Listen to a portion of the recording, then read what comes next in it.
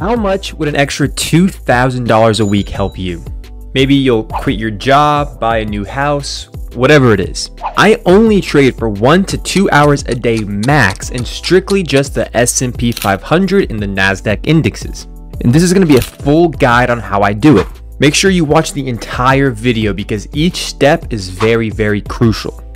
And at the end of this video, I'm gonna let y'all in on a little secret on how to get a free full course on the whole strategy I'm talking about with hours of more in-depth content that most traders would charge you thousands of dollars for completely free. Without further ado, let's get straight into it. So before we get started, let's go over some things you, you need to trade, right? So you're gonna need to have a brokerage account and I recommend if you have at least $25,000, use Thinkorswim, which is what I use. I've been using it for eight years. They're a regulated broker. They're, they're pretty much awesome. The customer support is awesome. Um, the thing is, you have to have a lot of money to trade with them. Or to trade futures with them, you have to have at least $25,000. So if you have less than $25,000 and you're still trying to use the same strategy and make the same kind of money, use Ninja Trader. They are also awesome, but instead of needing 25,000, you need 500. So that's what I would recommend as brokers. So brokers are, are where you're going to go, go ahead and buy and sell. It's where you're going to go ahead and look at the charts and trade and all the good stuff, right? You need them to be able to trade. Obviously, you need computer and internet. If you don't have a computer and internet, well, figure out how to get that first and come back to this video. And then when it comes to actually having the funds required to trade, you don't need too much, right? If you want to use your own money, I require or I recommend starting out with one to $10,000 to trade futures. That's basically it, especially, especially if you're using NinjaTrader. $1,000 will let you trade two um, ES contracts, which I'm going to get to in a little bit here. But if you don't want to use your own money, there's something called prop firms, and you can pay just as little as $49 a month and you can go ahead and take their challenge and you get funded up to $50,000, $100,000 and use their money to trade and then build up your own account from that instead of starting out with your own money, which is also a great solution.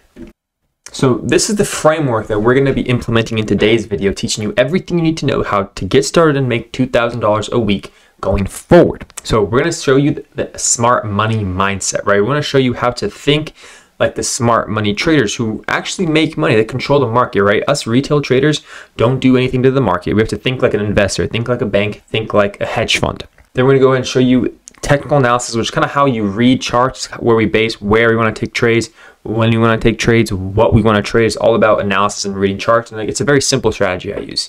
Then risk management is kind of a personalized, simple um, risk management plan I'm going to be implementing to you so you can get a better idea of how to manage your own money, not just in trading, but in life in general. Then market psychology. We're going to go over the market makers structure, their secrets, what they do, how they try to stop you and avoid you from making money, and we'll go over how to exactly to get over that and actually trade with them, not against them. So Smart money mindset, right? We want to get you to not think like a retail trader. Retail traders are basically anybody that's not a bank, not a hedge fund, not an institution, people that are trading just for themselves, right? I am a retail trader. 95% of us retail traders fail. And they do that for a reason because they all trade the same way. They all think the same way. So obviously they're going to fail. I'm going to try to get y'all to think and trade like the 5% that don't fail. So understanding that smart money psychology is a very key aspect of that, right? So by this I mean, right, it's trading, right? It's an auction market, just like the car auction, just like a real estate auction. Trading is an auction market, right? Meaning that the market will go up until the last buyer buys and go down until the last seller sells. So it's a buyer versus seller. Every time you buy a stock, someone is selling to you. Every time you sell a stock, somebody is buying from you, right? It's one versus one every single time. So I like to use the analogy as dumb people versus smart people. Smart people taking money away from dumb people is what the stock market basically is. So before we continue here, I want you to figure out what type of trader you are, right? Are you an investor, someone who wants to be in a position for years? Hopefully not if you're watching this video because you want you to make 2K a week. You can't do that by being an investor. Are you a swing trader who wants to, you know, take a couple trades, one trade a week, one trade or two trades a month? A day trader, which you're taking around a trade a day, I'd say, or a scalp trader, meaning that you're in a position for five, 30 minutes max. You're taking a couple trades a day. And I am a scalp trader and a day trader. I trade every single day because I like trading. I enjoy sitting in front of the charts, reading the charts, looking at numbers, looking at graphs, and making money. That's just my kind of thing. But if you're not that into looking at charts all day, you can be a swing trader where you just look at a chart every once in a while, get in one to two trades a week, and then make your money like that. And the important thing to realize here is no matter what kind of trader you are, um, the strategy I'm going to be teaching you is the exact same thing. It's going to work for everything. So the key takeaway after that is that you don't have to sit in front of your computer for five hours a day like I do to make money, right? Price action, which is what I'm going to be teaching you, stays the same for all types of trades. Risk management stays the same. The strategy is going to differ slightly. That only means that your profits, let's say if you're swing trading one or two trades a week, your profits are going to be higher, right? If you're day trading one trade a day, your profits are going to be lower. So that's what changes a little bit, right? The more trades you take, the more money you have to make. The less trades you take, the less money you have to make per trade. So the market basics, let's go over some basic things about the market, right? So the market is actually, or trading is a game of risk, right? It's educated risk and it's a game of losing. It's a game of probability because you never know what's going to happen in the stock market. You can have probable chances that your edge is going to happen, but you never really know what's going to happen. So you got to make that educated guess, risking the right amount to make sure that in the long run, you're consistently profitable. So why do stocks move? This is important. They move because of simple supply and demand, what you learn in econ class in high school, right? So more supply, the more the stock will go down, the more demand, the more the stock will go up, etc. So the market participants, again, this is also important. Us retail traders make up 3% of the market. 3%, that's it. We don't move the market for jack, right? The hedge funds, institutions, the banks, they make up 97% of the market volume. It means they're the ones moving the market to whatever direction they want. And that's who you have to learn to follow, the market makers. So our main focus here is we're not going to trade shares. We don't trade Apple shares or Tesla shares. We trade future contracts. Why?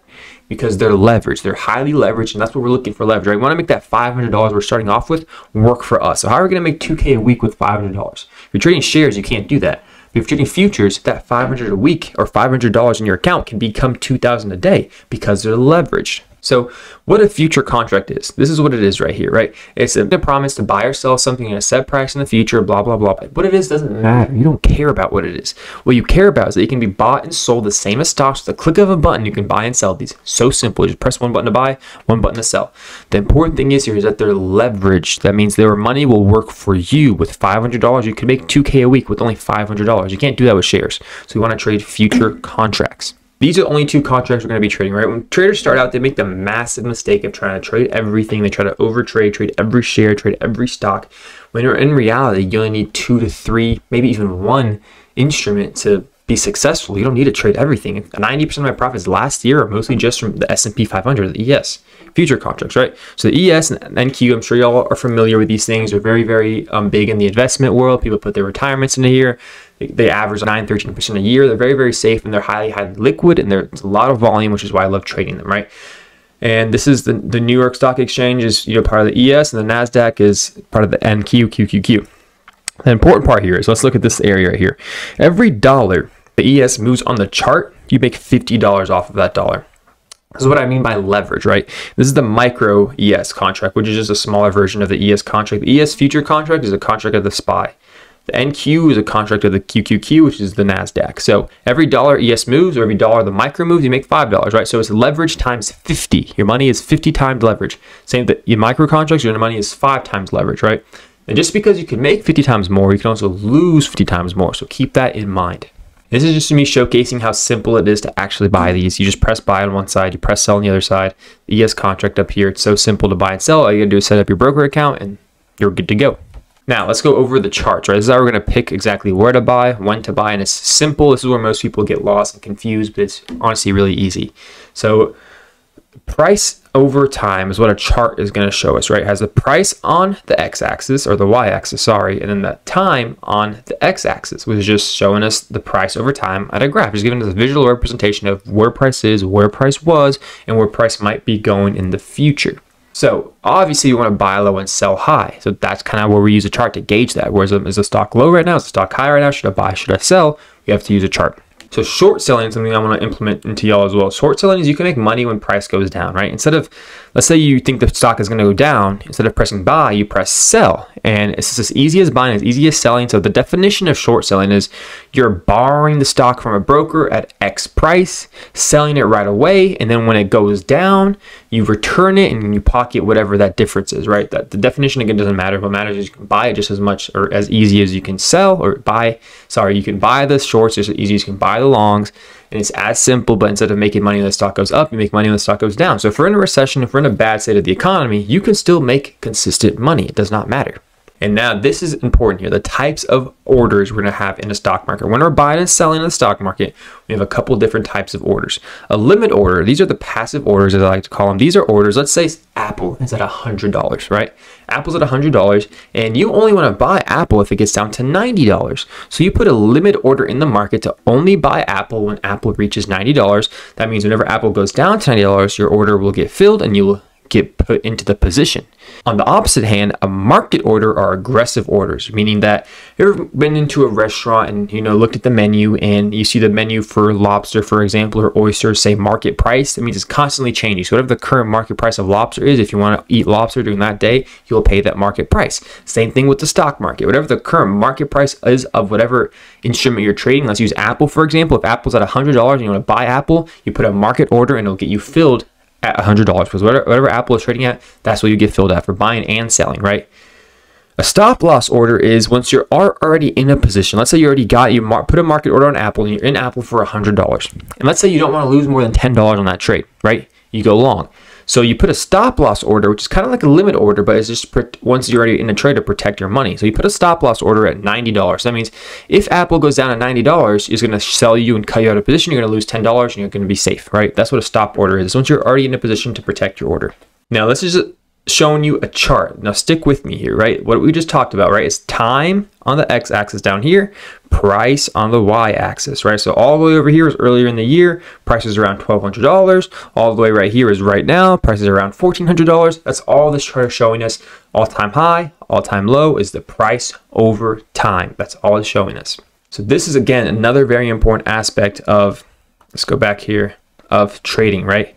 So every stock instrument, whatever it is you're trading, has a bid price and the ask price, right? It's the ask is the price the sellers are selling at, which is a more expensive price, and the bid is the buyers the price the buyers are buying at. So obviously the sellers want to sell at a more expensive price, the buyers want to buy at a cheaper price. That's just the name of what the things are occurring in the market. And the spread is just the difference between them, right? This is important to know because remember the market orders and the limit orders I was talking to y'all about. So Market orders will hit the bid when you're selling, right? It will sell you at a cheaper price because it wants you to get filled quicker. And when you're buying at a market price and you put a market order to buy, it will fill you at the ask. It'll fill you at a more expensive price, right? Because that's when you're being aggressive. So you will be aggressively bought in at a more expensive price. Or if you're selling, you're being aggressive with that market order. That means you'll all, all automatically get filled at a cheaper price to get you in there quicker, right? That's what it means when you put in a market order bid and ask is important in that because that helps us identify who's being right aggressive buyers or aggressive sellers who's in control here right aggressive buyers will buy at the ask meaning they're buying at a higher price they're being aggressive aggressive sellers will sell at a cheaper price they'll sell at the bid right because they're being aggressively sold they're selling at a cheaper price. They want to get out quicker. And there's passive buyers and sellers are all the limit orders I was talking all about, right? Very simple to understand here. So let's get into the actual technical analysis part of this whole um, system here, right? Reading charts, determining where to buy, when to buy, what to look at, what not to look at. This is a very simple way I use to read charts. My whole strategy here is kind of identifying the smart money, right? So we're going to take a look at price action, the historical areas on a chart where price takes action, right? Hence price action, right? Then we're going to look at volume, which is the amount of shares, contracts, futures, whatever it is being bought and sold at that specific point in time. Then order flow is kind of a little, um, you know, cherry on top of the whole strategy to get your win rate to the next level pretty much. So let's just go back a little bit here, right? This is the chart. The chart phases, oh, they only move in one of the three ways, right? The chart's either going up, making higher highs, higher lows, it's moving sideways, or it's going down, making lower lows and lower highs. That's it. The chart will only move like that ever. Now that we know that, right? Take a look at the chart that I was just showing you, right? price is either moving sideways, going down, moving sideways or going up. That's it. It's very important to know which phase of the market cycle we are currently in, right? So these candlesticks, right? This is this is kind of what y'all are seeing inside the chart, right? It's just a visual representation of price. So these candlesticks are just showing me if it's green, each of these um, candles you're seeing in the chart right, is a week. Right here, you can see you can select week, day, whatever it is you want to look at. Then each of these candlesticks right here, that's I call them candlesticks, these boxes with lines, are representing you the time and the price over a week, right? So now that we know that, if it's green, right, that means the price opened lower than it closed. If it's red, right, the price opened above or higher than it closed, right? Green is showing that the price went up during that weekly time frame. Red showing that price went down during that weekly time frame, right? And then the, the lines here are called the wick, right? The inside of the candle is called the body. The lines are called the wick. What this is this means is the top of that wick or the line is where price was the highest in that weekly time frame and the bottom of that line is where price was the lowest in that weekly time frame, right? So looking at this candle here, this one for example, right? This candle means during this week price went down over a hundred dollars, right? This is where price was the highest. This is where price was the lowest. Price opened right here. Price closed down here at the top, uh, bottom of the body. That's all a candlestick is showing us is giving us a good visual representation of price. So people like to use candlestick patterns to trade and do a bunch of things and i personally do not trade candlestick patterns but there's one pattern that i do like to watch out for and that's this looking candle right here. If you see this candle it's a good sign that price is going to reverse and go the other way right? So when you see a very small body and a very long wick to the opposite side right? Right here for example you see a small body long wick to the downside price goes up all right? Price starts going up right Candle, small body, long wick to the upside, price starts going down, right? Candle right here, small body, long wick to the downside, price starts going up, and then happens over and over and over again. So that's something I watch out for. The next thing is probably the most important aspect of price action, supply and demand, is how we identify the smart money, right? Just like future contracts, what they are, right here is the definition of them. Let me move my face out of the way. What they are don't really matter. It doesn't matter what it is, right? What matters is how to identify them, how to draw them, and how to use them, which I'm going to be showing you all right now. So what they are is just showing us the smart, smart, big money, right? So what we look for, right, when we're looking for a supply and demand zone is a sideways movement on a chart before an explosive move down. Sideways movement on a chart before an explosive move up. One or the other, right? Up is demand zone, down is supply zone. So what this is basically telling me is, right, to make an explosive move up like this or down like this, it takes millions and billions of dollars to do this. So we do this, we draw the box around where price was sideways because this is where all the orders are building up. This is where price was being fair. And then right after we get an explosion of that move up or down, that's when we know big money has stepped in. So we draw the box right before the explosion and the big move up, right? Let's go ahead and take a look at an example here. So, right, we have sideways movement, and we'll draw the box around that sideways movement. Sideways movement, we'll draw the box around that sideways movement before an aggressive move down, down, or an aggressive move up, right? Right here is another zone, but it's not drawn. So how you can use these zones, right? When price is approaching one of these zones, right? You can know there's a lot of supply in the zone. Price is approaching the zone and you can enter right at the touch of the zone, right? Your take profit could be the next coming zone and your stop loss where you're going to get out will be the break of the zone. Simple way to use them, right?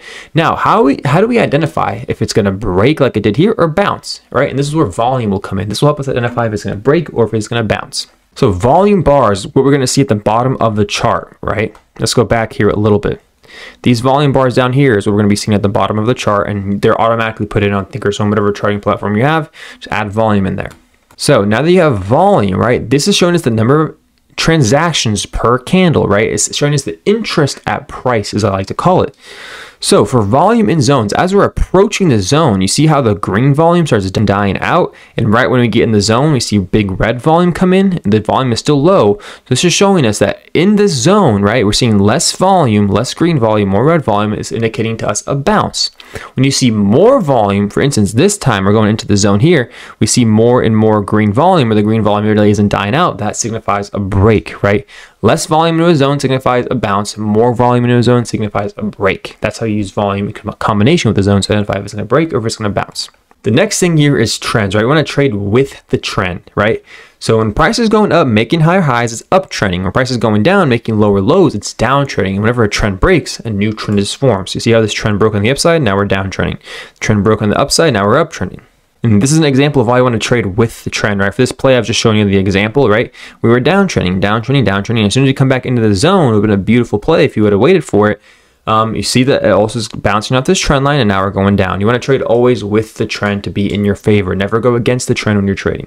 So quick example of the profit and risk for this play. If you're using the strategy I just showed you where you're going to take that the next zone as your take profit, the break of the zone is your stop loss. Well, basically what you're what you're doing here is um, you're risking 30 points to make 150 points. So if you're trading one of those big contracts, you're risking $1,500 to make $7,500. And again, that risk for me is too much. I would probably put my stop loss right above this candle, risking like five points at max, risking $250 at max to make $7,500. That's what I would have done. So there's two types of setups I'm to be showing y'all here. If y'all stick to these two setups, you're going to be doing just fine, right? The setups are the zone bounce, meaning when you get to a zone, you bounce, or the zone break, right? When you break a zone, we come back and retest that zone and we play the break long. Those are our two entries for the plays I'm showing y'all, right? Then the stops on these two plays are going to be on invalidation, right? Break of key level. So supply and demand gets broken, you put your stop there. Or if you use indicators, if that indicator gets broken, you put your stop there. I personally do not use indicator, right? Or if you see a break of trend, um, you get out of there as well. For example, here, if you get in short here, right, your stop can be right above the zone, right? If you get in long here and you see it finally start to break the trend, you can get out right there. Well, let's see you get in short here, right? You can put your stop at the next, uh, break of the next previous high, right? It's a very personal thing. You can put your stop wherever you want to put it, but that's just what I recommend. Your take profits, same thing, should be the next coming supply and demand zone, the next coming support and resistance level, whatever it is, it's time frame dependent, right? So if you're swinging and you're looking at the four hour chart, don't zoom down to find your take profits, right? If you're day trading at the five minute chart, don't zoom up to find your take profit. Example, you take profit if you go to short right here, the next coming zone, or if you use an indicator like the v, VWAP or EMA line, which I don't use, if you go on long right here, you can take profits at the EMA line or VWAP. Whatever next coming support resistance line is, that's where you want to take your profits.